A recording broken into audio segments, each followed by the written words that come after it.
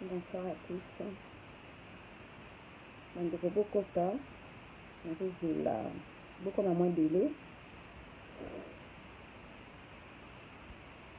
bo partager live euh, nayebi ke eza mwa imprévu c'était pas prévu du tout donc euh, j'espère bozoyoka nga bien faites-moi signe si vous m'entendez so bozoyoka nga live oyo ce live pour euh, mes amis enfin ceux qui me suivent et qui sont non lingalophones, je tenais à m'excuser par avance parce que ce live se fera euh, en majorité en lingala vu l'actualité.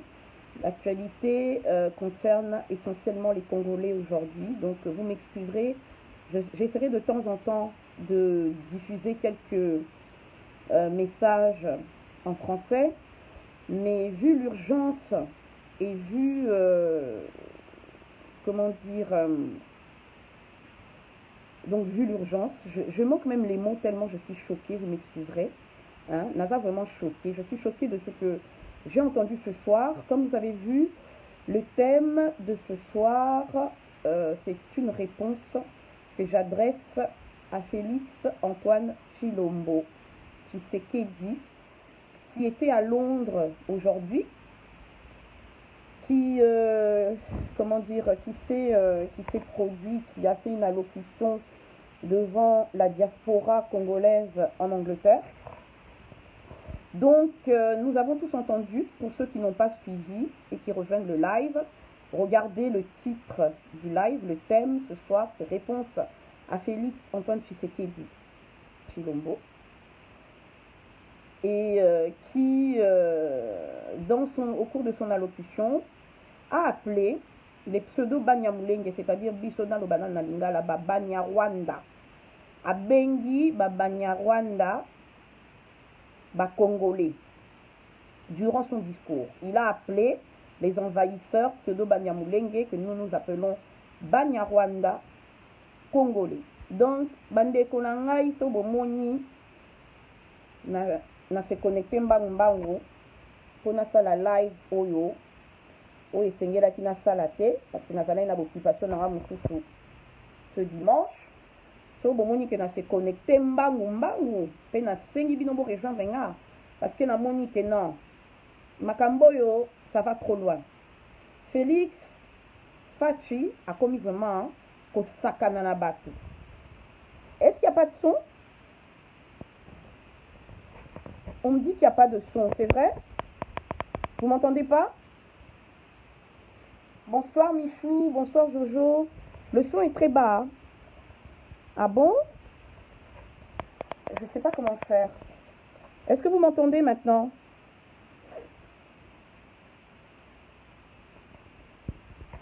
Bonjour Kanga.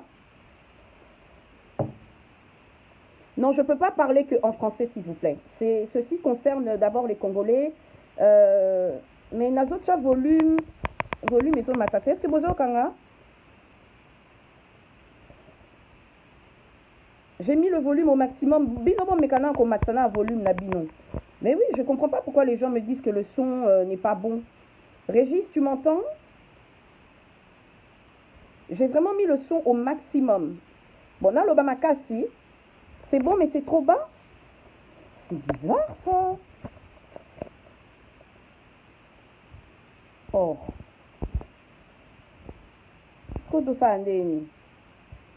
Ben, écoutez, les gens qui disent que le son n'est pas bon, essayez d'augmenter le son sur vos téléphones. Bon, mais quand on son à téléphone, parce que moi, je ne peux rien faire là. J'ai mis le son au maximum. Bonsoir Marlène, tu m'entends Essayez de, essayez de mettre le son au maximum. Je ne sais pas pourquoi vous dites que le son est bas. Je pense que ça vient de vos téléphones. Hein. Donc bon, mes canards, comme son, la téléphone n'a non. Alors je, m'excuse encore euh, parce que vraiment ce soir, je vais plus parler lingala parce que ce message est adressé aux Congolais. Je voudrais que tous les Congolais euh, entendent. Bon, n'aébite poani, les leçons, ezamabe. Mon micro. Qu'est-ce qu'il a mon micro ah, bon botiaka son na maximum hein, na osala tout nameka koloba makasi écoutez vous me dites d'augmenter le volume j'ai mis le volume à fond mes amis hein? bino bomatisa bavolume na batelefone na bino y en a qui me disent qu'ils m'entendent très bien et d'autres euh, me disent qu'ils ne m'entendent pas bon je vais essayer de pas toucher le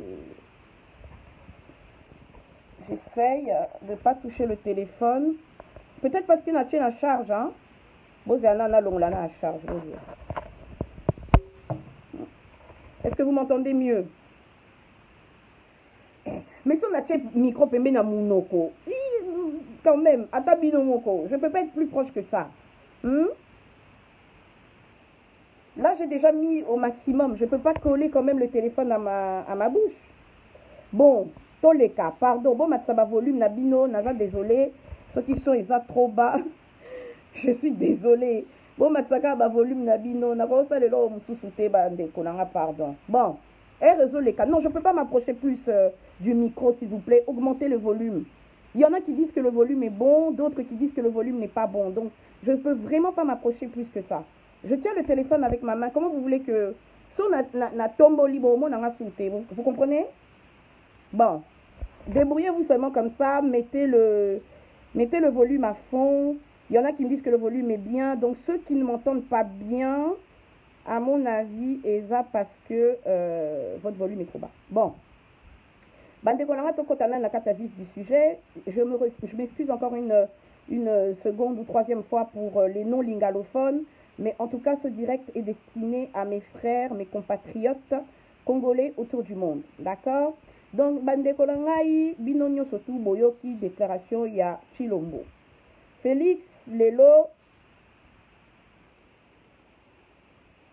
nazoloba na té te bandeko j'ai pas d'écouteur vous voyez bien j'ai pas d'écouteur hein essayez de faire un effort d'augmenter le volume de votre téléphone s'il vous plaît d'habitude je fais des lives euh, on m'entend très bien mais là je sais pas essayez d'augmenter le volume ou mettez des écouteurs s'il vous plaît je peux pas faire autrement Bon kaka koyokanga ndenge bozoyokanga pourtant je parle très fort alors je vais parler encore plus fort est-ce que vous m'entendez comme ça ok bon là vraiment je suis désolée pour le son je ne peux plus rien faire d'autre hein? donc Nabando, banda bandeko moni lelo faci A euh, asali déclaration Hein alobi que euh, ba banyamulenge baza ba congolais hmm? ba pseudo banyamulenge je n'ai pas d'écouteur mes amis naza na baécouteur te bozomona te na na baécouteur te Jésus de Nazareth mais je n'ai pas de kit main libre mais vous voyez pas que j'ai pas de kit main libre hein bandeko nasala nde nini oh bino nde botya ba soki baécouteur soki mpe bo je ne sais pas essayez d'augmenter le volume mes, mes, mes, mes frères et sœurs je n'ai pas de kit main libre hmm? bozo embrouye nga pardon bomeka bomatisa volume na bino ata eza eh, moke bosala tu bomatisa volume obia bino bolata baécouteur je peux rien faire d'autre d'accord merci alors nabandaki koloba que lelo faci asali déclaration na Londres comme quoi que ba banyarwanda baza ba congolais hmm? biso nyonso tu tolandi yango Fatshi a déclaré que ba banyarwanda baza ba congolais bandeko na ngai na ba problème oyo ezoleka na minembwe hmm? Fatshi a osé faire une déclaration de la sorte pendant qu'on est en train de massacrer pendant que bazo boma bandeko na biso na est Felix Antoine Tshisekedi qui est censé oyo oh, aza censé kozala garant ya sécurité ya peuple congolais hmm? ya sécurité ya peuple congolais azoloba ke ke en tout cas bozo perturbe nga mpo nini bosala nga boye hein nasi nalobi likambo ya volume sikoyo bozoloba na nga r nyonso tuka evolume eza trop bamba ndeko na nga nasala nini sujet eza trop important r ezoleka mpo nini bosala nga boye essayez s'il vous plaît de mettre le volume à fond ata bozoyoka moke na banza message quand même ekokita ntango tokopartage video volume s'il vous plaît essayez d'arrêter de me perturber avec cette histoire de volume lobby je ne peux pas faire autrement si le volume est trop bas s'il vous plaît augmentez le son sur votre téléphone c'est pas à moi moi j'ai mis le, volume à fond c'est pas à moi d'augmenter le son je parle fort il est tard j'ai des voisins s'il vous plaît hmm? donc je euh, nazo comprendre nde nini bozoyoka so na ngai te pardon botika koambuye nga ça, si je ça vraiment trop important arrêtez de me faire perdre du temps hein? ça fait déjà 10 minutes qu'on a commencé et ça fait 10 minutes qu'on commence non je nazo obligé d'attendre ba commentaire parce que je voulais m'assurer que tout le monde m'entende hein? Mais si vous m'entendez pas s'il vous plait ayez la gentillesse d'augmenter vos volumes merci alors na bandaki koloba bandeko na makambo nyonso tu oyo ezoleka na minembwe na makambo nyonso tu oyo ndenge bazoboma eh, bandeko na biso faci asali déclaration lobi ke babanyarwanda baza uh, eh, bacongolais abengi bango bacongolais alobi ke baza bandeko na biso Totika ko haïr bango. Fatshi a se permettre asala meme comparaison na biso ba congolais oyo tozo vanda na kati ya diaspora. Ba congolais oyo tozo vanda na ba, eh, ba mboka ya bapaya. Comment est-ce que Fatshi akoki kokoma ti na ba niveau wana? Akende kosala ba comparaison moko bidon par rapport ya ba congolais oyo bazo vanda na diaspora neti ba biso oyo. lelo ba biso oyo tozo vanda na, na France tozo vanda euh, na États-Unis na Angleterre etc etc etc est-ce que situation na biso eza comparable na ba Banyarwanda est-ce que biso na bamboka oyo esika tovandi bandeko na ngai est-ce que tozali komenace sécurité ya bamboka place tovandi est ce que tozo constitue bamilice esika tovandi est ce que tozo constitue menace mpo na mabele ya bato esika tovandi me babanyarwanda wana oyo bakota na mboka na biso na ba 1960 baye kosinstale na congo topesi bango mabele lelo Bango batu oyo biso ba paya oyo biso to yambi bango bakomi koboma biso bango bakomi ko viole biso bango bakomi ko ko ko, ko piller mboka na biso vous voyez bakomi ko piller mboka na biso donc est ce que ngai bandeko bino ndenge boza na bamboka place bozali euh, na kati ya diaspora bosala bamilice mpona ko ko violer ba française ba americaine ba anglaise etc etc non tosala yango te d'accord tosali ba milice te tozo vivre en bonne intelligence tozo vivre en paix na mboka oyo esika bayambi biso tosalaka na bamboko tofutaka baimpo na bamboko bana na biso bazobotama na bamboko baza na banationalité ya bamboko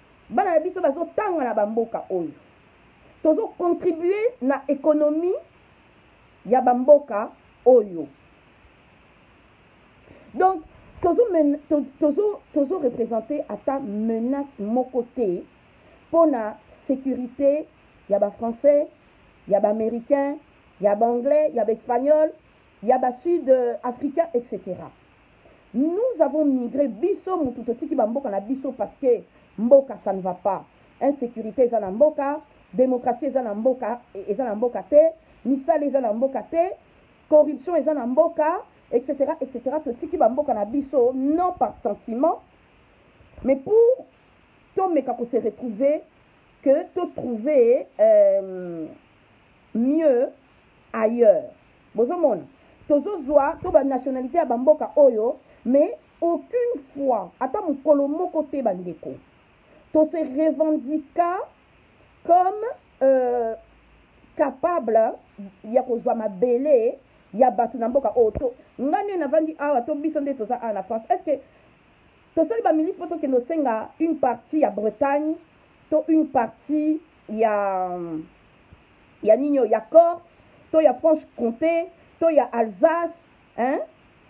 ou bien ya, ya, nayebi te ya, ya pas de calais ya région moko boye na france tosali yango te tozo respecte mibeko ya mboka oyo tozo respecte mibeko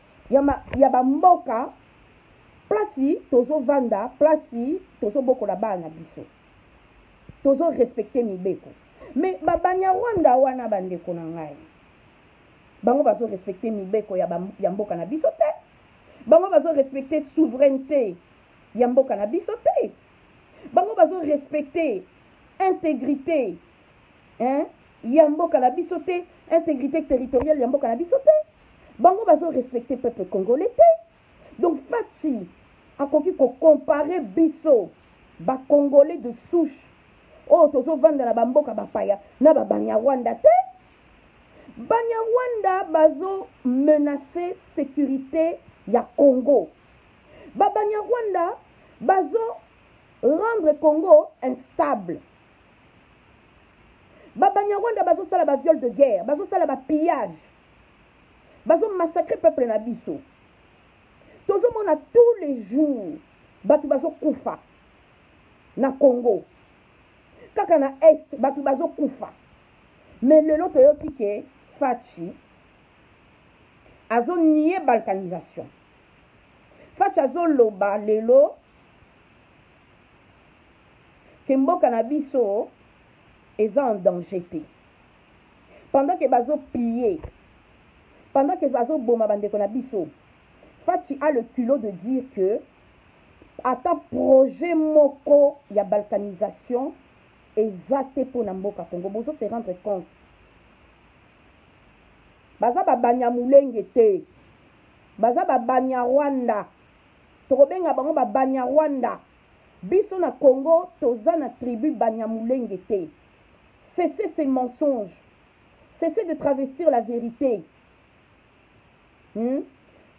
bandeko na ngai nakoki kobloke bato te pour l'instant botika bango bakoma babuzoba na bango toyebi ke eza live page na ngai eza publique bato nyonso tu bakotaka na baoyo bafingaka bazali donc naza na temps ya kobloke motu te botika bango bokipe bango te s'il vous plaît to continuer to avancer toza na babanyamulenge tribu banyamulenge na kati ya mboka na biso te donc yango wana bomoni ke nazobenga bango babanya rwanda parce que bauta rwanda baza bana ya rwanda ndenge baza wana nani parmi bino baz, e, e, awa ayebi tribu banyamulenge boyebisa biso babanyamulenge yana balobaka monoko nini na kati ya congo toza na plus de 450 ethnie au congo hmm?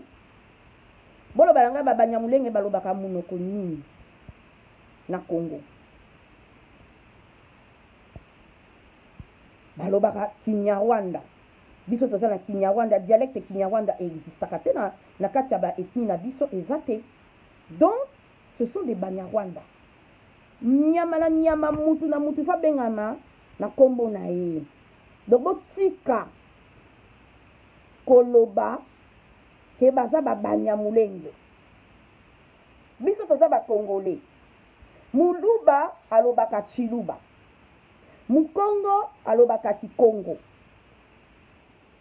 musakata alobaka kisakata bon Mongo alobaka kimongo. Sikoyo babanyamulenge na bino bazoloba kinyarwanda. Sikoyo rapport nini na kombo oyo bango bamipesi? Hein? Mais heure moko tozalaka quand même moi euh, logique. Heure moko tozala moi logique. Bato wana bawuta wapi? Bakoti na Congo, lelo bazo se revendiquer et puis bazo revendiquer portion ya terre congolaise. toyebi yango biso nyonso tu ça fait des années bazomene biso vie dure bazomene biso guerre mpo na korevendike baportion ya terre lelo bakomi koboma bachef coutumier bachefferie coutumière congolaise eza en danger bazoboma bachef coutumier bazotia par exemple neti ndeko yaya na ruberwa wana aza chef coutumier na miniembwe bozomona roube roi tutsi rwandais a son grand frère qui est chef coutumier au minembwe toloba toloba te biso nyonso toyebi ke na est wana bato oyo fatch azoloba ke baza ba adf nalu azoloba ke eh, bazo agir sous influence ya daesh ke donc ce sont des intégristes musulmans donc bato bazosala biso guerre na est eh, baza baintégriste musulman baza barwandais te baza baougandais te ou bien bazoagir sous influences ougandaises en étant des intégristes musulmans. Nulle part, pas une seule fois, Fati ne fait référence aux agressions et aux milices rwandaises qui ont de tout temps pénétré dans nos frontières. Ba milices oyo babandaki kokota na kati ya ba frontières na biso, bazokota, bazobima, etc. Etc. Oyo basala ba massacres na Kisangani, na ba mboka ebele ebele kuna na Est, Fatshi ata mokolo moko te asali mention ya ba milices wana. Pourtant nabimiselaki bino video moko il n'y a pas longtemps eh, mpo na kolakisa bino makambo oyo Vital Kamerhe aloba mpo na James Kabarebe. Vital Kamerhe asal, a, a, asala ba déclaration aloba ke eh, Congo eza en danger, Congo eza envahi que bah, James eh, donc Rwanda na Ouganda hein, James Kabarebe en tête ba ba pénétra na kati ya, ya sol congolais et puis notamment euh, ba organisa ba massacre na comment dire ba massacre na Kisangani Vital Kamerhe euh, comment dire Vital Kamerhe ndenge aza wana alobi ke James Kabarebe asali ba massacre na Kisangani aboma ba congolais aviola ba congolaise asala ba pillage il a détruit la ville de, de Kisangani ça ce sont les paroles de Vital Kamerhe ebima na munoko ya Vital Kamerhe eza nga te mutu naloba ngo video wana eza kaka na mur na nga ti lelo bokoki ko retrouver ngo ou bien nakotyela bino yango heure moko na bacommentaire vital kamere moto aloba ngo bon quand euh, vital l'heure vital kamere qui est le, euh, ako, oyo oh, akomi lelo directeur ya cabinet ya félix tshisekedi ntango soit disant alongwaki na parlement so mpe babenganaki ye so mpe ye mo moto alongwaki alongwaki na parlement ntango azalaki na assemblée nationale poigni qui parce que asalaki déclaration disant que euh, qui contre euh, le fait que bah, comment dire euh, qui contre le fait que Baba Rwandais, bakota na rdc azalaki contre le fait que batroupe rwandaise bapénétre sur le sol congolais eza badéclaration ya vital camere Bon ba troupes rwandaises wana oyo bakota na sol congolais est-ce que babima? Tomona basala ba simulacre euh, ba M23 etc basala ba simulacre bazongisa ba, ba, ba manduki babima soki soit disant 3000 soldats soki combien soki 300 soldats je ne sais plus exactement les chiffres je me rappelle plus mais combien batikala na kati ya congo Fatshi akende otuna directeur ya cabinet na ye Vital Kamerhe pourquoi alongwaki Assemblée nationale parce que soki ye azoloba que menace ya balkanisation eza te que mboka na biso eza menacé te qu'il n'y a aucun projet de balkanisation qu'il demande pourquoi Vital Kamerhe avait dénoncé l'entrée des troupes rwandaises en RDC Hmm? Pourquoi Vital Kamere avait dénoncé les massacres de Kisangani par James Kabarebe il faut expliquer pourquoi l'armée Nabiso, armée congolaise, a envahi de bout en bout. Et puis, Bangomoko, bah, FRDC, dernièrement, il y avait le porte-parole des FRDC à l'Obaki l'armée est infiltrée. tozo bunda na banguna tozo yeba banguna wana baza banani te parce que armée na biso eza infiltré na kati armée na biso il y a des ougandais il y a des tanzaniens il y a des, euh, des, des, des rwandais hein? baza na kati ya armée na biso bazobundisa bandeko na biso donc l'ennemi est partout il est sur tous les fronts donc comment l'armée congolaise ndenge nini armée congolaise ekoki kosala face na un, un ennemi moko oyo aza invisible et partout à la fois pourquoi faci azokoka konome baennemi na biso te pourquoi faci oyo azoloba ke balkanisation eza danger te tango azalaki soit disant dans l'opposition tobandaki koyoka kaka ba tshisekediste oyo oh, lelo bazobetela ye maboko bazoganga zongisa ye na rwanda ya chichi zongisa ye na rwanda zongisa ye na rwanda kaka rwande oyo oh, bande koloba zongisa ye na rwanda ye wana lelo akomi euh, comment dire euh, akomi allié ya fachi lelo autorité immorale ya fcc Hyppolite Kanambe alias Joseph Kabila akomi allié ya Fatshi. Donc bakomi kokumisa ye, zongisa ye na Rwanda ezalaka lisusu te, lelo balkanisation eza lisusu te, peuple na biso aza lisusu na danger te. Eloko Fatshi azoloba na biso yango wana. Il ose se tenir devant les Congolais et débiter de telles inepties.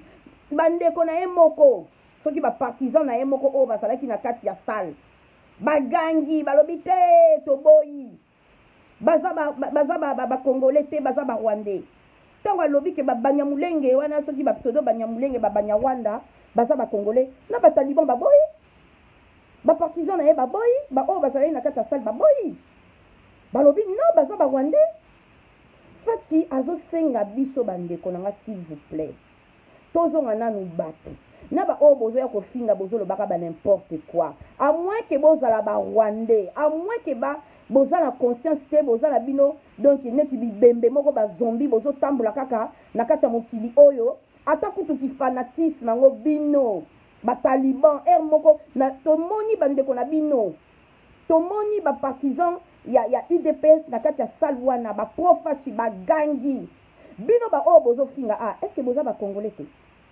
est-ce que boza na souci ya mboka te est-ce que bolembi ndenge bazo violer ba mama na biso bazo piller mboka na biso ndenge bazo boma bandeko na biso te donc bino bokanisaka ke congo esuki na, na, na, na, na, na kinshasa hein? boza na, na mawa ya bandeko na biso oyo baza na est te Comment vous commencez à la inconscient de Ngwana Si les gens vous continuez à finga, vous finga, mais mutu oyo kutu faut finga, et ça mutu oyo azo senga biso.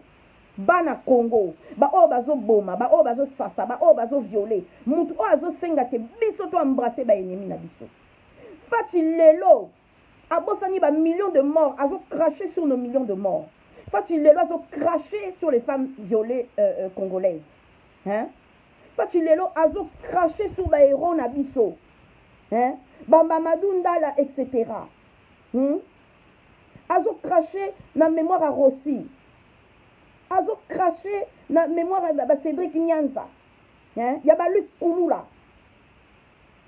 mpo na nini mpo na deal mpo na cop mpo na pouvoir oyo ya dongi ya bitendi oyo bapesi ye me bino bozokontinue kaka kofinga ata kutu boza nayebi te soki baloka bino yango ata kutu kifanatisme comment bokoki kokoma ntina nivo ke lelo ata kutu bolobi ke aza soki président bozolinga ye mpo aza moluba soki aza soki nani soki aza nayebi te ndeko na bino soki chef ya idps soki nini eh?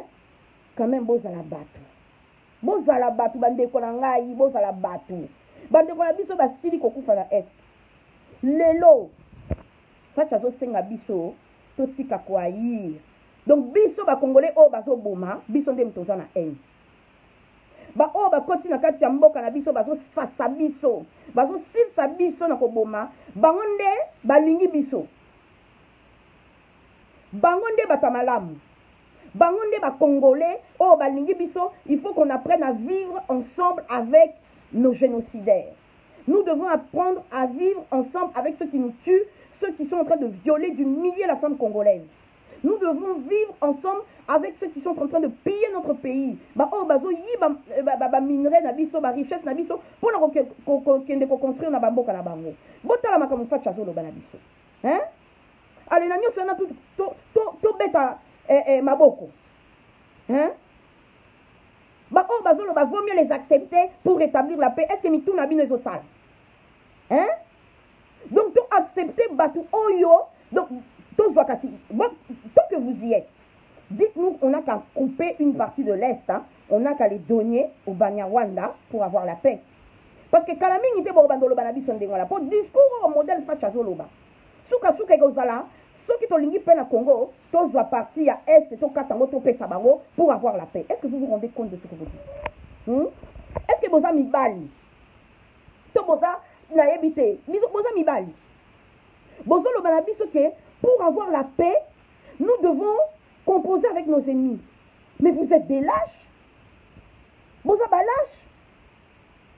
ça c'est quel peuple boza ndenge nini bino bacongolais bino bosi bomona bapalestinien baloba ke a ah, soki tolingi kimia totika kaka baisraélien eh, basala oyo balingi na mboka na biso comme ça on aura la paix bosi bino botangaka babible hein? vous les chrétiens je suis chrétienne aussi mais vous vous, vous pensez plus chrétien que les autres bo, bo, poni bobetelaka moïse maboko pourquoi bobetelaka moïse maboko hmm?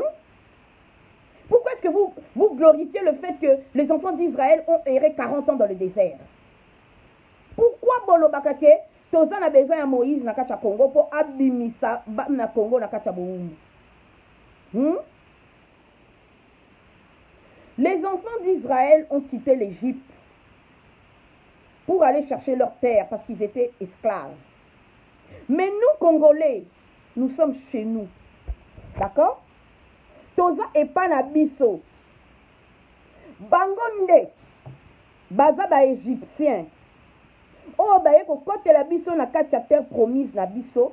Pour ba boto la biso, ma belle na biso.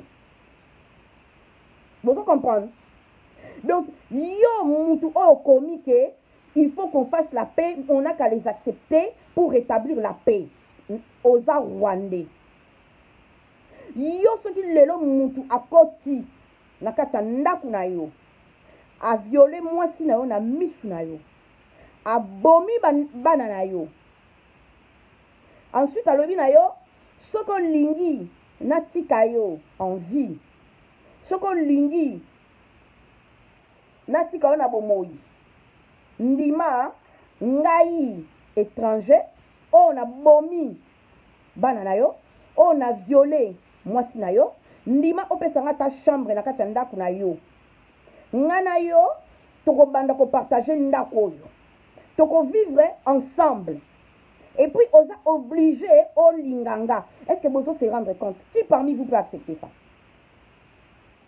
nani parmi vous akoki kondima ke monguna akotela ye na kati ya ndako na ye aviole mwasi na ye to mama na ye na misu na ye aboma bana na ye epuis aexige ke bopesa bo ye portion to katikati ya ndako na bino ou bien mwa chambre abandaka kovanda kuna donc bomonaka ye tous les jours Nani parmi bino akolinga eloko ya ndenge wana?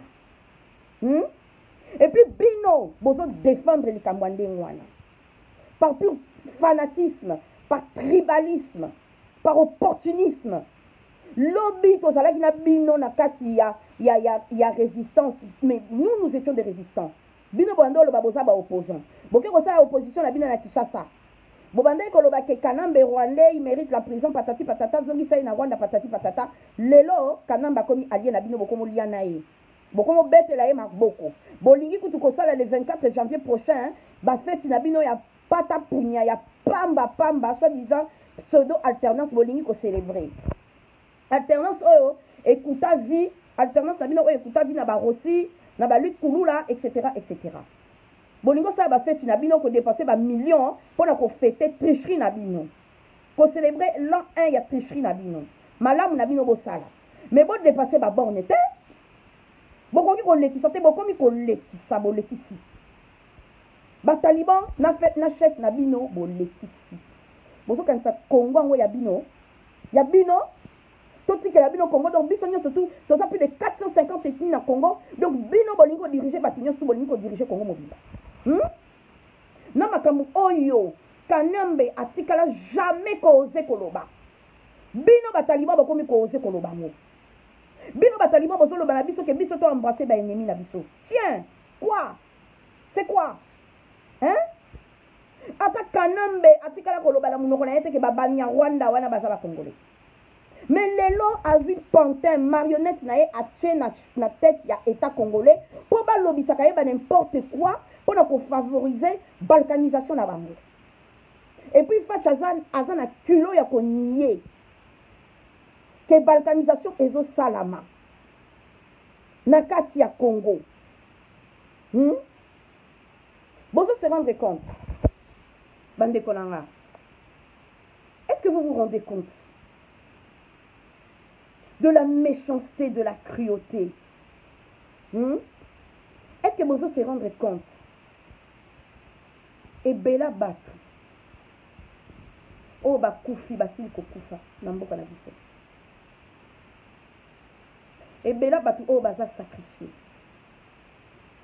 mais lelo fatshi azoloba na biso ke tobosana nyonso tu wana totika haine tolingana toyamba babani ya molenge to embrasse bango mais qu'est ce qui va pas dans la tête de ce type qu'est ce qui va pas dans la tête de ce type hmm? en deux mois exactement BR Katio, euh, brl katiopa en deux mois il y a eu 300 massacres en RDC. En deux mois. Rien que pour le mois de novembre, plus de 117 personnes ont été massacrées. Hmm? Bon, je ne sais pas qu'est-ce qui se passe. On dirait que ma vidéo est à nouveau signalée. Oh mon Dieu. Mettez des, mettez des j'aime parce que c'est pas possible.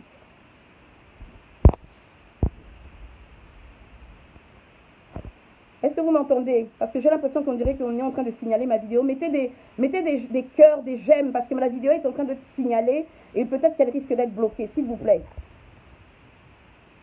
Bon j'aime. Allez-y, partagez la vidéo et mettez des j'aime, s'il vous plaît. Menate, donc bon j'aime. Vous voyez Donc, bande ça passe. eza pasi et puis aza na culot ya kobenga biso bantaba ke biso bacombattant toza bakomba ntaba lobi lobi faci azalaki na biso awa hmm? je suis désolé pour le son euh, je ne sais pas qu'est ce qui se passe aujourd'hui naza vraiment désolé pour la son mais je ne peux pas faire autrement donc nazoloba bandeko lobilobi faci azalaki na biso awa tozalaki bandeko na ye tozalaki kolute mpo na vérité des urnes tozalaki kodenonce Hold up electoral oyo esalaki que Etienne Tshisekedi a perdre pouvoir na ye. Tozalaki bana malamu. Tango ba komba ntaba bazalaki kosala sale boulot ya kobeta ba dignitaires kabiliste oyo babandaki koya awa na poto oyo babotolaki bokonzi ya peuple congolais baoyo babandaki ko combattre tata na ye feu Etienne Tshisekedi Fatshi abandaki kobenga biso ba combattabatin. Fatshi abandaki ko condamner violence ya ba combattante envers bato wana. Hmm? Ba combattant na ye moko ya UDPS na kati ya parti na ye. Ba beti fils mukoko. Donc bango pe baza ba combantaba. Hmm? Bato ya allié na ye Kamere ba wuti ko beta sans rival. Bango pe baza ba combantaba. Donc lelo mpo biso tozo defendre mabele na biso mpo biso tozo, de, tozo, tozo denonce balkanisation faci azobenga biso bakombantaba mpo lelo faci akomi kolia na kati ya sani ya kagame mpo lelo faci akomi main dans la main na hippolyte kanambe lelo biso bakongole tokomi bankombantaba biso baoyo eh? tozobundela mabele na biso ntango tobandaki kotambola na ye elongo awa tozalaki bantaba te lelo mpo akomi na pouvoir akomi olia na baenemi na biso akomi olia na kagame oyo azosimba loboko biso bakombata ba biso nde bahaineux bababani oyo azobenga babanyamulenge babanyarwanda bango nde bato ya malamu bango nde baza na bolingo ya peuple congolais biso baoyo bazo agrese biso biso nde ifo tozala na bolingo mpo na baoyo bazoboma biso est ce que peuple congolais bozomona yango normal bandeko na nga est ce que c'est normal hmm? est ce que bozomona yango normal tozokende wapi na kifanatisme kifanakwiti oyo tozokende wapi na opportunisme oyo Hmm?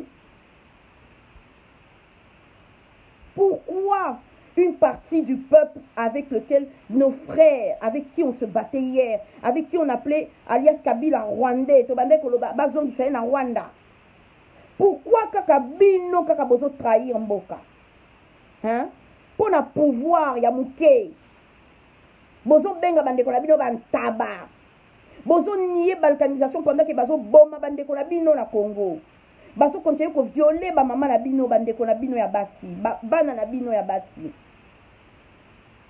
est ce que ce pouvoir vaut cette trahison est ce que bozo yeba ke bagénération future ekojuge bino est ce que boza conscient na makambo oyo bozosala na kati ya mboka wana babanyamulenge wana so banyarwanda bazoboma biso bazosasa biso biso totika to haine biso nde toza bahaineux estce biso tokoti na rwanda tobandi osasa barwandais to bango bakoteli biso na kati ya mboka na biso babanyarwanda wana baza bacongolais te ils ne sont pas congolais bino bafana kwiti oyo bozo continue kolanda faci botala video na tiango na mur na ngai botala ndenge bandeko na bino moko bapartisan ya idps ndenge bawololi faci balobi non toboyi baza bacongolais te me bino baoyo bainconscient oyo boza awa bozofinga bozomona bofinga na bino so bofingi nde esali nini hein apa kofinga de toute façon eloko nini boyebi chef na bino kutu ye moko kutu kolo mafinga nyangalakata bantaba bandoki kaka ye ale soki biso torépondre tokomi bajaloux bahaineux batribaliste non neti ye azo se respecte te en tant que soit disant président azo respecte peuple oyo mpo ye alobaki aza président ya bacongolais nyonso donc soki olobi ke oza president ya bacongolais nyonso oyebi ke oza mpe president soit disant ya bato mpe oyo balingaka yo te d'accord donc oza oblige ocompose na bato wana parce que baza frange ya peuple congolais il faut partie du peuple congolais lelo yo faci ozobenga biso combataba biso ba congolais de souche me babanya mulenge oyo ozobenga babanya mulenge babanya rwanda bango nde bakomi bato malamu bango nde il faut to accueillir parce que baza bacongolais baleki biso na kicongolais biso nde totika haine bango nde baye na bolingo quand ils nous violent quand ils nous tuent quand ils pillent notre congo c'est l'amour que ces gens-là sont en train de manifester envers le peuple congolais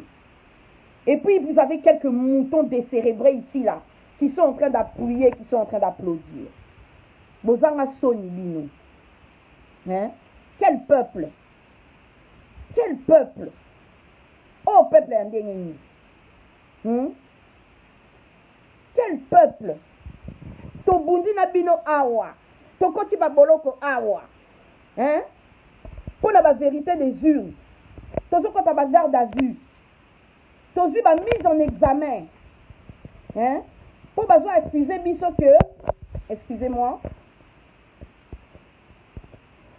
tozwi bamise en examen mpo bazo accuse biso que tobeti badignitaire congolais ba dignitaire euh, ya kanambe awa na poto tokoti baboloko babiso oyo babotoli biso bapasseport bapesi biso bainterdiction ya kokite territoire etc pendant 3 4 ans bomona biso toleka tolela eh, naza mise en examen mpo na congo eh, bacongolais bosunga nga bofutela nga avoka nasala yango jamais d'accord nasala yango te ntango bino bobanda ovanda bobalala bapongi na bino na bandako na bino biso bazokanga biso bazo bambila bazoya kokota na kati ya ndako bazokanga biso mpo na congo me bozo se permettre bino oyo boyebi kutu ndenge kutu batambolaka mpo na congo te boyebi ata solo ya garde à vue te hein?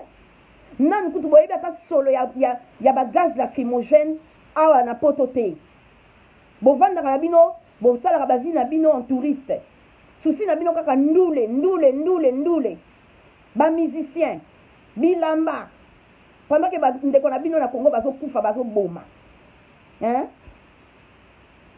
biso ça fait plus de 10 ans ba 11 ans totya bavi ba na biso entre parenthèse tozobundela congo ata, bo, ata kutu bozondima biso te c'est pas grave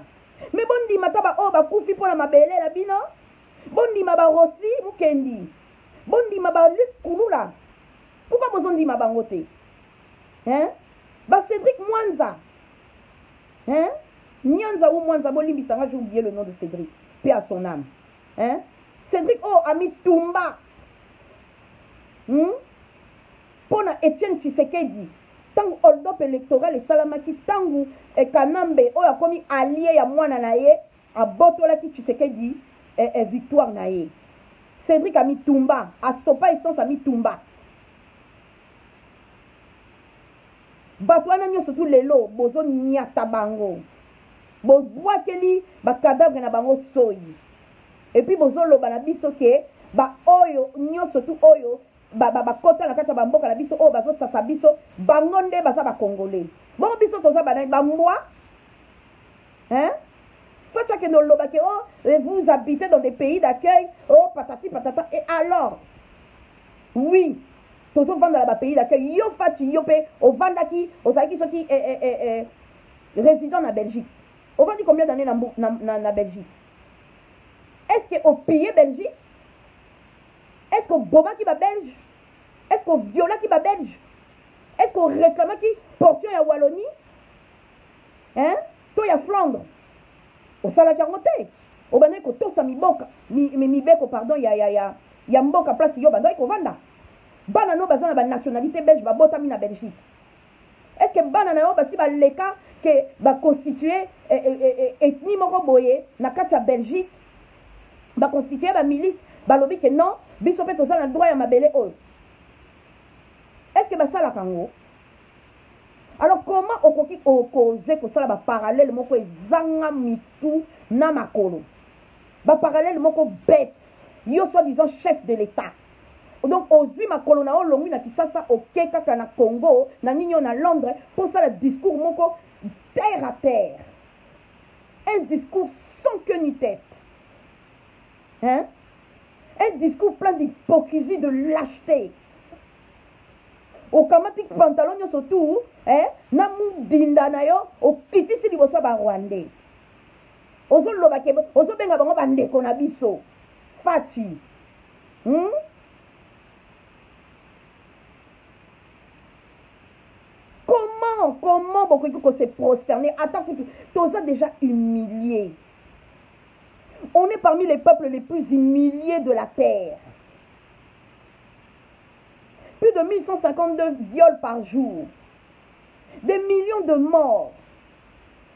Mais Fatshi azoloba ke ba ennemis na biso baza ba ndeko na biso.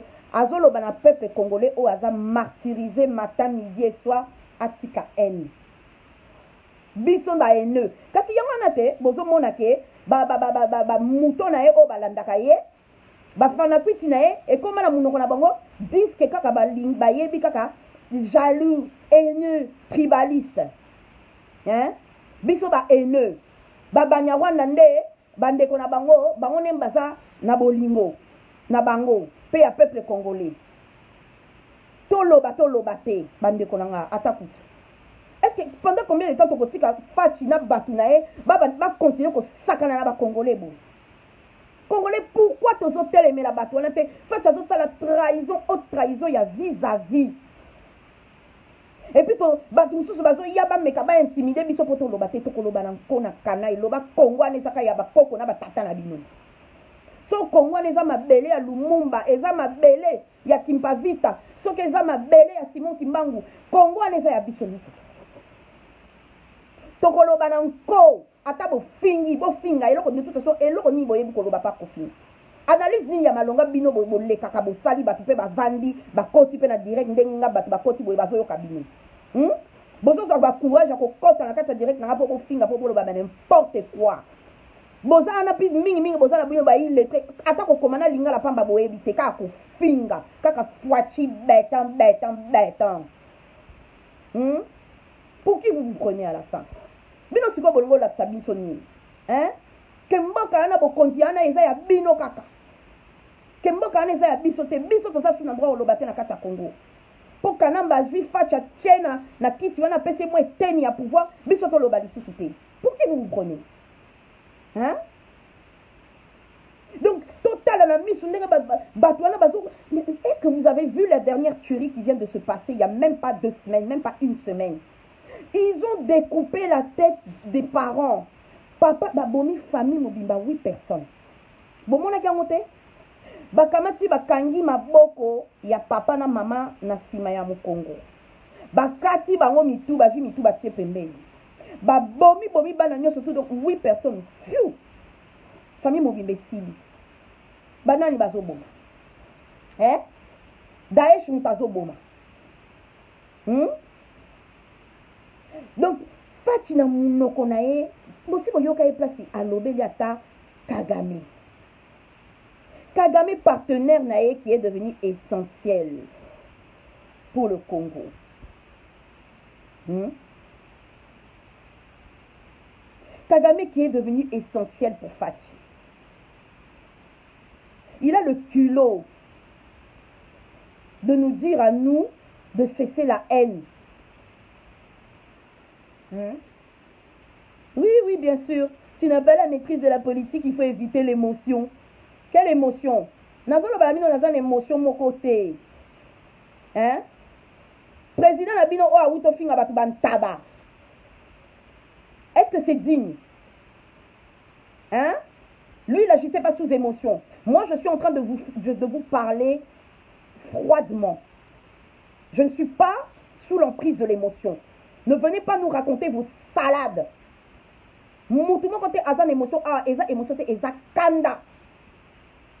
Et c'est une saine colère. Une sainte colère. Une colère qui doit revêtir tout le peuple congolais.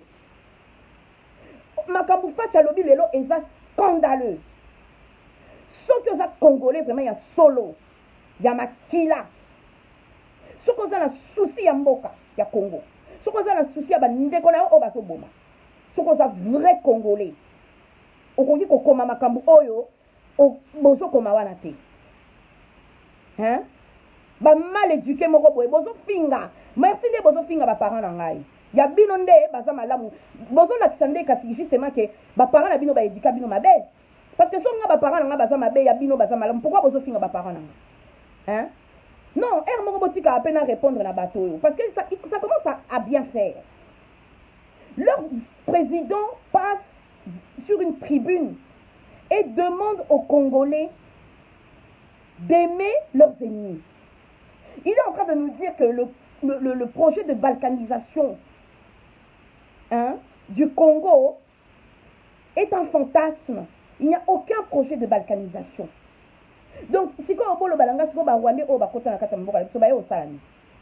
sikoyo bo explike biso bapillage oyo ezosalama ya baminerai na kati ya mboka na biso oyo ezokendaka ntina barwanda ezobima na bafrontière ya congo ezokende wapi donc il n'y a pas de balkanisation donc sikoyo faci yango oloba na biso ke biso bacongolais tozoboma na biso na biso banani bazoboma biso kasi banani bazoviole bandeko na biso est ce que eza bacongolais babanyamulenge yana baza bacongolais donc baza na bango bainnocent basali eloko moko te totika bango bavivre tranquille selon fatshi donc biso congolais na kati ya mabele ya bakoko na biso toloba lisusu te tondima ke mopaya aya koassujettir biso na kati ya mboka na biso merci bandeko nayoki conseil nde bolobi na ngaki nalanda bango lisusu te nakolanda bango lisusu te nayebi ke bazoya awa mpona kodistraire biso bazoya awa mpo ba éloigner ngai eh, na sujet na ngai parce que ezo déranger bango parce que baza mpo na balkanisation balingi nde vérité te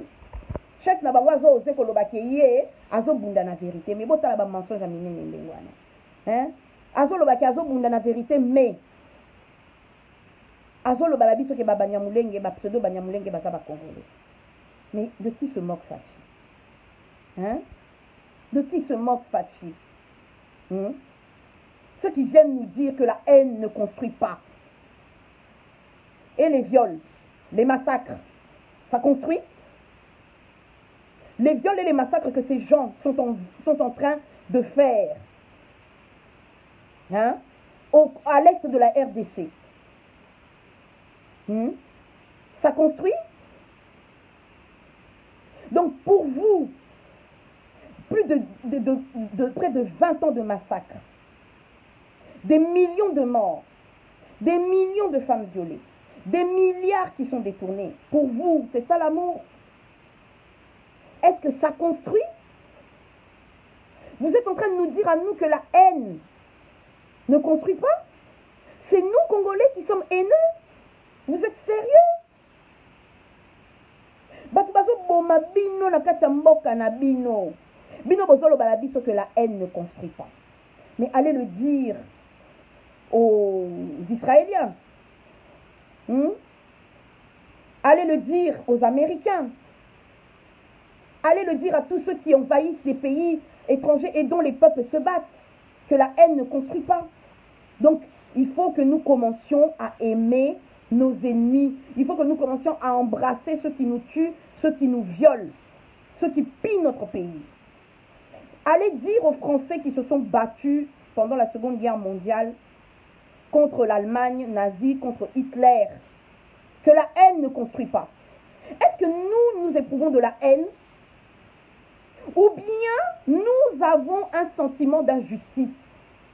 Nous nous battons pour la justice dans notre pays. Nous voulons que les Congolais obtiennent la justice. Nous voulons qu'il y ait une paix durable en RDC. Nous voulons que les Congolais puissent jouir de leur richesse. C'est ça que vous appelez la haine. Le fait de réclamer la justice pour notre peuple, c'est ça que vous appelez la haine. Le fait de vouloir que le Congo se reconstruise et que les richesses soient bien partagées, c'est ça que vous appelez la haine. Le fait que nous voulons que la guerre cesse dans notre pays, c'est ça que vous appelez la haine le fait d'inciter les Congolais à se lever pour leur pays et se battre pour leur nation, pour l'intégrité territoriale de leur nation, pour la souveraineté de leur nation, c'est ça que vous appelez la haine. Alors si c'est ça être haineux, alors Nandimi, Nazana haine Makasi. Hein, si le patriotisme est égal à la haine, alors je suis haineuse. Si le fait de défendre ma nation, ça veut dire que je suis haineuse, j'accepte. Si le fait de dire que ces Banyarwanda, c'est pseudo-Banyamuleng et que Fachi aime tant, sont des étrangers qui sont venus chez nous pour nous massacrer, pour nous prendre nos terres, j'accepte, je suis haineuse. Si le fait de dire que ce sont des étrangers et qu'ils doivent rentrer chez eux, c'est de la haine, j'accepte, je suis haineuse, je suis tout ce que vous voulez j'accepte. Si le fait de refuser que mon peuple soit assujetti par des étrangers, vous appelez ça de la xénophobie, alors j'accepte, je suis xénophobe. Si c'est ça la haine pour vous, j'accepte. Alors nous sommes des millions à être des haineux en ce moment au Congo.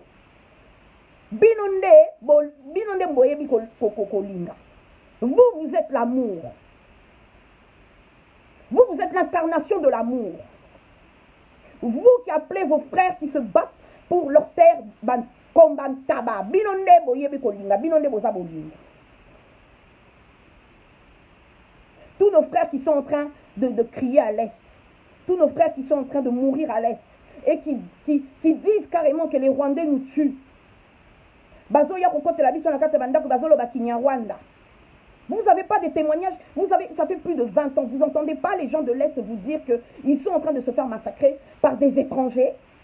Et vous êtes en train de nous dire que c'est nous qui avons la haine. Hmm? Alors j'accepte. Je suis haineuse. Je suis la première des haineuses en RDC. Je suis pire que haineuse. Appelez-moi même le diable si vous voulez. Parce que oui, en ce moment, je ressens de la haine. Je ressens de la haine envers ceux qui sont en train de massacrer mon peuple. Je ressens de la haine, de la colère envers ceux qui sont en train de violer mes sœurs. Je ressens de la haine envers vous, Congolais, qui êtes en train de trahir votre pays, votre nation. Je ressens de la haine envers tous ceux qui sont en train de détourner l'argent du peuple congolais. Des millions, des 200 millions par-ci, 15 millions par-là. Des 10 millions par-ci, des 650 millions par-là. Backup par commission oui. Alors je ressens de la haine. Pour tous ceux qui volent le peuple congolais, pour s'enrichir, pour s'engraisser, je ressens de la haine. Je ressens de la haine pour tous ceux, qui, sont en train de mépriser mon peuple en ce moment. je ressens de la haine pour tous ceux qui sont en train de laisser les, femmes accoucher dans des, dans des hôpitaux qui n'ont d'hôpitaux que le nom. Je ressens de la haine pour tous ceux qui sont en train d'écraser mon peuple. Je ressens de la haine pour tous ceux qui veulent priver mon, de mon peuple de sa liberté. Mais qu'est-ce qui ne va pas chez vous C'est le pouvoir. Moi, il y a pouvoir, on va pas comme si ma bombe. Et puis vous nous dites que c'est nous qui... Oh, vous ne savez qu'insulter, mais chef na bino moko kolo mafinga. Bantaba, banyangala kata bandoki. Ça sort pas de sa bouche Yenda finga rabatu, biso to bete la ema boko. Biso nde bazoba na bino. Nous les haineux, nous acceptons. Nous sommes haineux. Nous sommes jaloux. Oui, nous sommes haineux envers ceux qui sont en train de persécuter notre, notre, notre, euh, notre peuple. Car nous avons un sentiment d'injustice. Nous voulons la justice pour le peuple congolais. Hmm?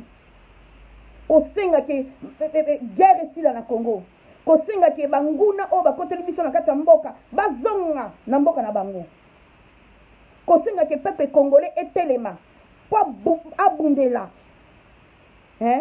mabele na ye eza haine oui dose luse nous sommes haineux pour une cause noble pour le congo rdc lelo biso tokomi ba haineux lobi banda obetela biso maboko tango tanda oloba etienne tshisekedi tshisekedi président wana boobetela biso maboko wa bana malamu ntango tozolobela verité des urnes tozalaki ba haineux te tozalaki ba tribaliste te lelo bokoma olia sani moko na, na kagame bozobenga biso ba haineux bande de traître bino le peuple congolais vous jugera bofinga mais toza awa sachez le Le temps est le pire ennemi du mensonge. Bomoni Fatshi na bino ndenge apanzani na Londres Ses propres partisans ont été choqués. Ba partisans na ye moko bagangi eh, te toboyi baza ba rwandais baza ba congolais te est ce que bimai na monoko na ngai bomonai nga na kati ya sale wana donc bandeko na bino moko oyo oh, balobi na fatshi na kati ya sale ke banyarwanda eh, ba, ba, ba, wana baza ba ba congolais te baza ba rwandais donc bango mpe baza ba haineux toloba baza bandeko na bino hein batondaki kuna na kati ya salle kuna boyokaki bango te botala video na mire nanga vous les avez pas entendu bokai bango te ntango bagangaki bazoyebisa faci bawololi faci ale regarde la video Hmm? Donc vous êtes devenu sourd, aveugle, muet à cause d'un peu de pouvoir qu'on vous a donné. Et comme ici, bino, ba baba. Hmm? bato nyonso tu bakomi jaloux na bino kongo mobimba ekomi kaka jaloux ya bino bataliban mpo boza tellement extraordinaire toza bajaloux na bino biso eh? mosusu mosusu aza na ye kuna au fin fond de je ne sais quel village aza même pas na électricité aza mpe na mai te azokoma ke moi je suis haineuse azofinga mais ngai navandaka na poto nabiaka na ngai trois fois to quatre fois par jour bana na ngai batangaka baza en sécurité soki nalingi mpe naloba ke bon nabaye na ngai makambo ya kongo yango natala na avi na ngai via bana na ngai nakoki kosala yango me pourkoi tosala yango te oza na mai te oza na courant te oza na oza na santé médiocre hmm? musala musala te soki lelo obeli ata mwa fièvre moke mwa typhoïde kokomema yo na lilita nga naza awa naza na pito ofele pratiquement hmm? naza na mutuelle naza na batransport naza na électricité 24 heures sur 24 7 jours sur 7 naza na internet à gogo mais ozofinga nga jalouse nakozala jalouse na yo poani na sens nini mpo na fufua masango mpo na bikedi mpo na nini mais heure moko bo raisonnaka bandeko na nga bo raisonnaka biso moto toza awa toza na susi ya mboka eh? ebele baza awa sans diaspora mboka wana mais esi ekoma donc laisse tomber mboka wana elingi ozala par terre totalement eh? kaka bino bozofinga biso bahaineux mais kaka bino bokontaka na diaspora lika muke muke mwana beni fièvre diaspora botinda mbongo eh? mbongo minerval to soki ya ba, ba, ba, soki eh, ya bauniforme diaspora mwa moto abota diaspora moto akufa diaspora moto abela diaspora eh? estce bino nyonso tu ndenge boza kuna na congo bokokana nyonso tu ya une frange une petite frange de congolais qui sont en train de, de, de, de profiter de la richesse du Congo. Ba oh bazo yiba. Ba millions. Pendant que bino peuple bozo nyokwama. Mais bozo bete la bango na boko. Mais bozo ndeni. Hein? Yo zana peut-être depuis tongo l'été. Mayi et na pompe ezo bimate. Électricité ezate.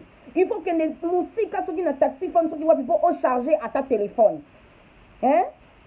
me ntango bazoloba na bino baverité boye bozofinga biso me bozofingela biso likambo nini soki bavi na bino soki bomoni ke faci abongisi mboka botikaka kosenga diaspora il faut dans ce cas là ke diaspora vraiment totika ngai namoni il faut diaspora totika kotinda bambongo na congo totika kotinda bambongo na congo mpo bazofinga biso ba haineux bandeko na ngai oyo ya diaspora biso lelo tokomi ba haineux mpo tozo toza na susi ya mabele ya bakoko na biso tokomi ba haineux ba jaloux ba tribaliste bango nde balingi congo yango wana bazobenga barwandais bacongolais yango wana faci azokendaka kigali kosere maboko ya kagame yango na vital kamere azokendaka na ba mariage ya mwana ya james kabarebe kokabaka soki bantaba soki bameme soki bavashe soki bangombe pendant ke na kasai kuna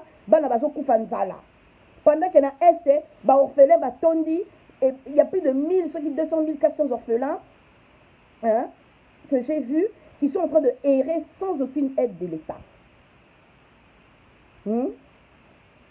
mais toloba te soki diaspora oyo te soki tosalaka bamarche kabila dégage te soki tokotisaka bamemo te soki tosendignaka te tokenda na bainstitution te me mboka wana lelo faci il le sait il a marché avec nous on a dénoncé avec lui me mboka wana ekei mais aujourd'hui le même faci, faci dit qu'il n'y a pas de balkanisation qu'il n'y a pas de projet de balkanisation alors dites-nous simplement Pourquoi en 2011 vous chantiez ya Chichi zongisa ye na Rwanda?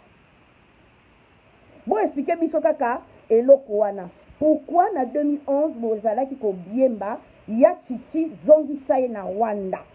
Moi c'est tout ce que je vous demande. Comme la balkanisation est un rêve, ce qui un fantasme de la diaspora haineuse, boyebisa biso pourquoi bobandaki koyemba ya chichi zongisa yango wana heure moko ko bandeko to raisonne ba haineux ba jaloux eza bino na comprendre vraiment que idps pendant soit disant 38 ans soit disant 38 ans ya pseudo opposition bino nde bozalaki ba haineux ba jaloux epuis ba tribaliste bino bato ya idps bino bozalaki jaloux ya pouvoir sûrement ya mobutu bozalaki mpe jaloux ya pouvoir ya kanambe parce que lelo bapesi bino mwa eteni ya pouvoir bobeteli kanambe maboko bozo embrasse kagame bozoloba ke balkanisation eza te bozoloba ke babanyarwanda baza bandeko na biso donc bozalaki bajaloux bolingaki nde bokóma na esika wana yango wana bobandaki kobundela pendant 38 ans mpo na pouvoir bobandaki kobundela peuple te bobandaki kobundela mabumu na bino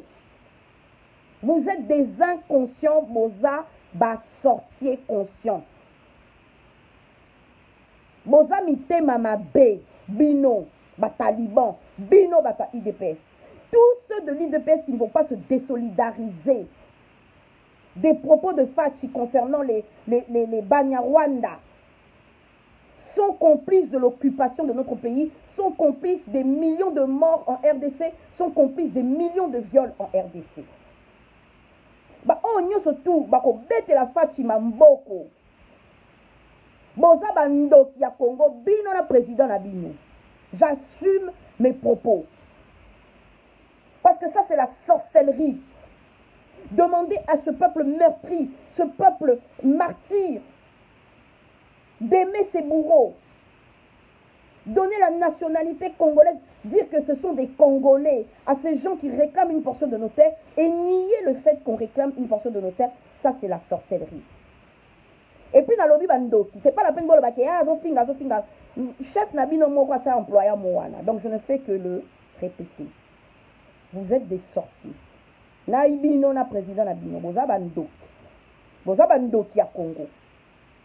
Bolingi bonheur ya peuple congolais te.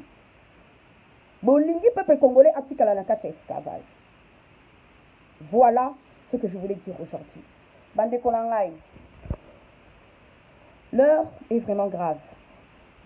Fatshi a franchi la ligne rouge.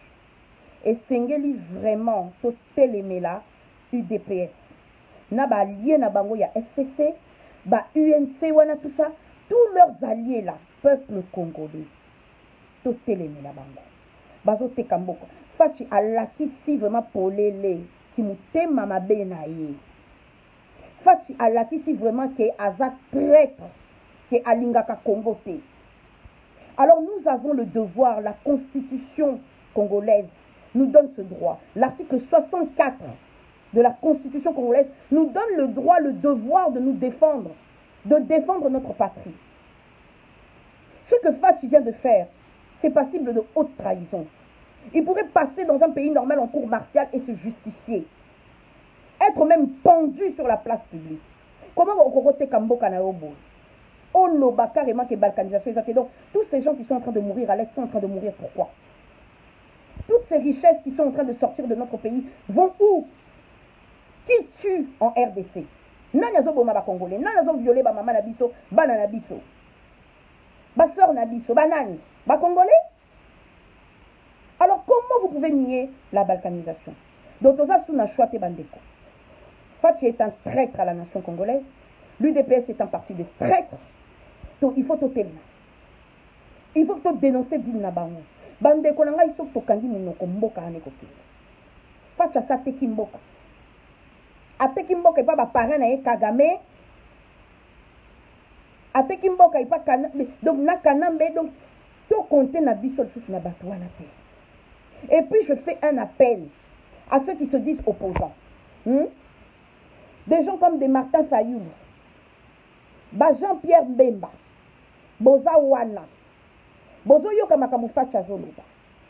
ayez ce courage de lever le peuple congolais une fois pour toutes et de dire haut et fort que notre pays est en danger.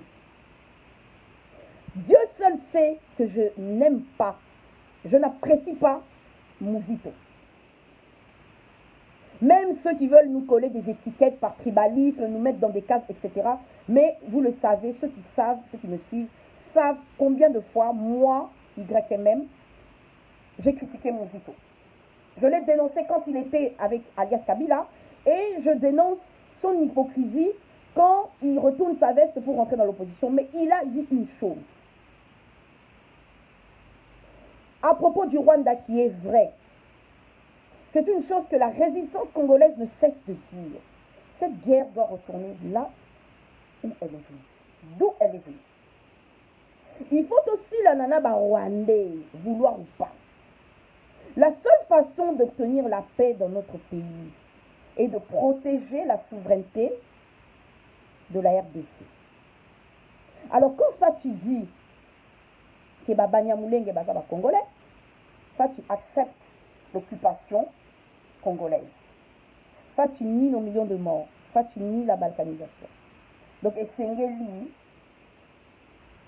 totelemela ye avec tout ce qu'on a. Il faut tozongela susu ba marche ya kafu kafu. azolela nyonso to wana parceke babetaki kuza na ye na marche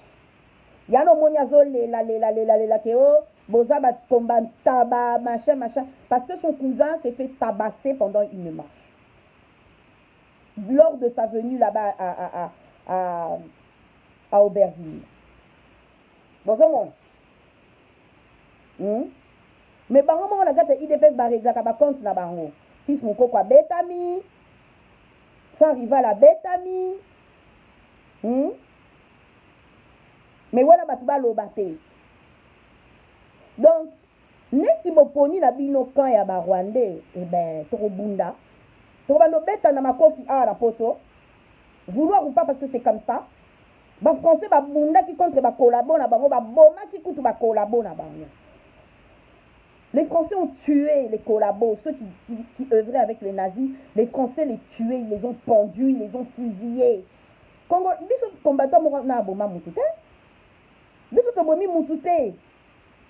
Mais ceux que vous appelez vos frères congolais, les Banyarwanda, eux tuent chaque jour. Ils violent chaque jour. Mais nous, nous n'avons pas le droit de nous défendre. Nous, nous n'avons pas le droit de manifester, nous n'avons pas le droit de parler. Nous n'avons pas le droit de dénoncer. biso ba ntaba bango nde bazoboma biso bango nde bato faci merci mais sache que un jour ata ndele tokosilana na yo tokosilana na ka, alias kabila tokosilana na kagame tokosilana na batraitre nyonso tu ya congo dont tu fais partie un jour vouloir ou pas le peuple congolais vous demandera des comptes baoyo oh, nyonso tu bozofinga wana bocontinue kofinga Po eza ba ndeko na bino te oyo bazo boma, po eza ba maman na bino na ba soeur na bino te oyo bazo viole, yango wana boza na courage ya ko finga. Bozo finga. Pendant que ba rwandais bazo bomela bino ba ndeko, biso tolinga ba rwandais. Bozo caresser ba rwandais, bozo kumisa kanambe. Bozo lembola Kagame mabo makolo. Bobetela Kagame maboko na kati ya stade. Bozo yemba yo nani oboya kagame eh yo nani oboya kagame ba talibans bande de sorciers que vous êtes vous êtes les ennemis du peuple congolais j'assume chaque mot soki bolobi na fingi na fingi na nko chef na bino moko akuti ofinga biso bantaba donc pourquoi biso pourquoi on va se gêner Lui-même nous a traités aussi de sorciers. Alors pourquoi on ne va pas dire que vous êtes des sorciers Vous êtes des sorciers. Vous êtes les ennemis du peuple congolais. Et le peuple va vous combattre. Ah, bon bolakisi visage na bino, bolakisi que vos apons na rwandais, toko combattre bino de toutes les façons. Je vous dis, Muze alobaki yango la guerre sera longue et populaire en tout cas preparez vous po tokotika bino pe te congo wana eza ya biso nioso tu eza ya bana congo congo eza ya bana congo eza le congo n'appartient pas à une ethnie en particulier le congo n'appartient pas à une, un parti politique en particulier congo eza ya bana congo donc moto abangisa moninga te Ah bino bolobi ke toza ba ntaba. Ah bino bolobi ke ba rwandais baza ba ndeko na biso.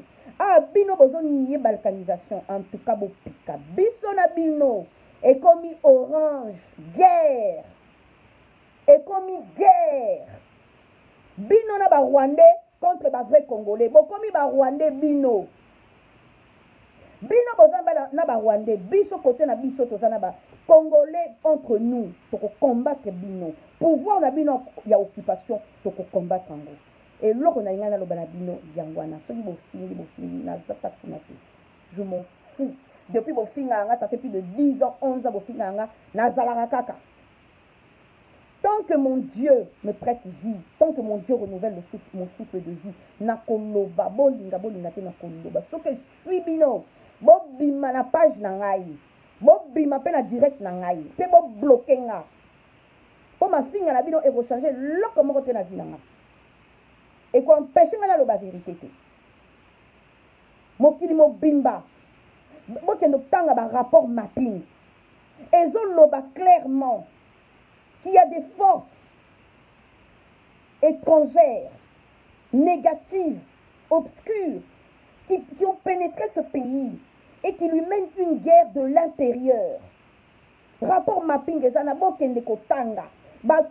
James Kabarebe, Mais le culot de dire que nous ne subissons pas une guerre d'occupation, que nous ne sommes pas menacés par une balkanisation, que nos ennemis, les Rwandais, là, sont nos frères congolais, il a tout nié en bloc. Alors que nous avons des images où Vital Kamer et son directeur de cabinet accusent James Kabarebe, à qui il est parti offrir 30 vaches dernièrement, de génocide. Il l'accuse d'être un génocidaire, d'avoir organisé des massacres à Kisangani. À Moroban de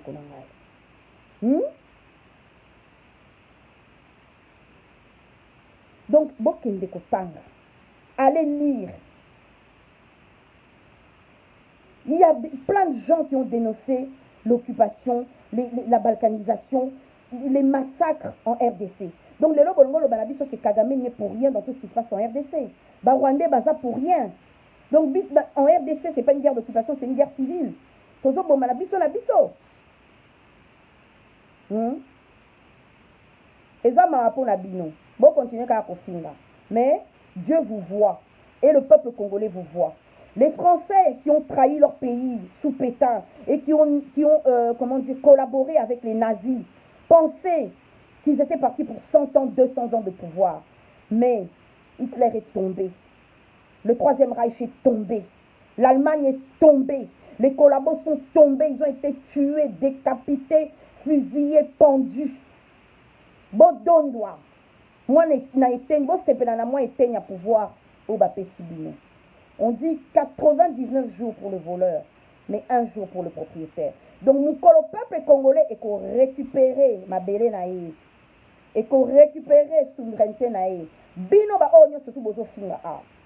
na bino na chef na bino hein mwana bitinda ya ba rwandais en tout cas bolukaka deja banzela kokima hein bokende kobwaka bangunda kuna na rwanda soki na uganda soki na burundi mpo biso bavrai congolais tokotuna bino tokotuna bino tokotuna bino ce que vous avez fait pendant komassacre votre peuple Na suki wana.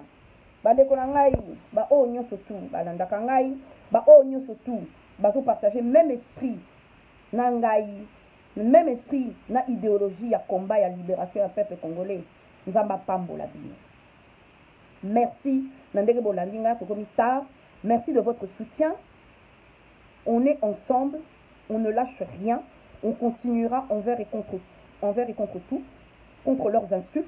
On les combattra pied à pied.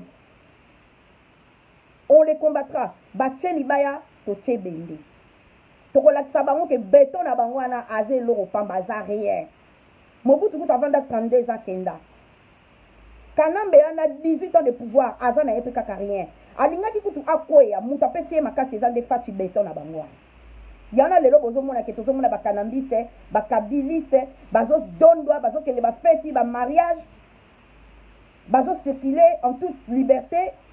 Hippolyte Kanambe, oyo abomela biso ba ndeko, abomela biso ba Rossi, azo tambula na ye, bazo betele kutu maboko na balabala. Rais, rais, rais.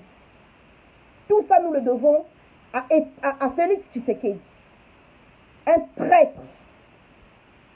il a vendu son pays tokokipe mafinga na bango te tokokipe yango te parce que mboka wana eza mboka na biso tokobundela mboka na biso eza mabele na biso eza héritage mpe ya bana na biso nous avons tous le droit de nous exprimer par rapport au congo donc ne vous laissez pas intimider par les insultes de ces talibans par leur menace à deux balles eloko nyonso il y a rien dans cette terre qui reste éternel rien Meme l'injustice trouvera sa fin. Donc tenons bon. Tenons bon. Totika te bandeko. Soki tolembi mboka ane keyi. Totika ba fanatiques wana na coin na bango. Tolanda bango te, tolobela occupation ya mboka parce que ils veulent nous museler. So bomoni bazoya awa kofinga parce que balingi verite te. Balingi tokanga minoko na biso, to, to collaborer neti bango na ba Rwandais. ils sont prêts à vendre le pays pour le pouvoir biso tokotika te tokokontinue koloba bandeko bopanza video oyo tokontinue les jours à venir toorganize bamarche contre balkanisation tosala baémission contre balkanisation hmm? continuons bolanda bato oyo mitu na bango donc baza awa donc vous voyez bien que il faut être inconscient Il faut ozala mutema mabe, il faut ozala ndoki po o o obetela Fatshi maboko na makambo alobi. Donc biso to continuer. Les jours à venir, il va falloir vraiment être vraiment dynamique. On va redoubler les marches, les sittings, les émissions contre la balkanisation, vraiment to bima la distraction bandeko. On a été trop distrait ces derniers jours avec mitakala ya passe-temps oyo, ba pasteur oyo. Hmm? On a été distrait.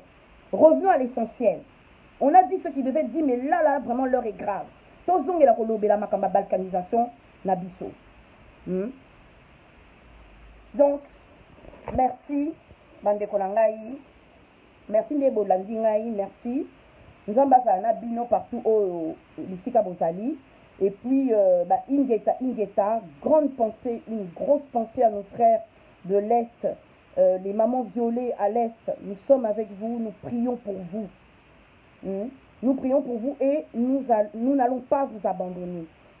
tokotika bino te e, e tokotika mpe kolobela occupation ya mboka na biso te ata banguna na biso bazwi bana bitinda na bango ya bacongolais mpo baloba le contraire nous nous continuerons à dénoncer et à dire la vérité voilà donc merci encore une fois et euh, voilà que, que dieu vous bénisse qu'il bénisse la république démocratique du congo ingeta ingeta à très bientôt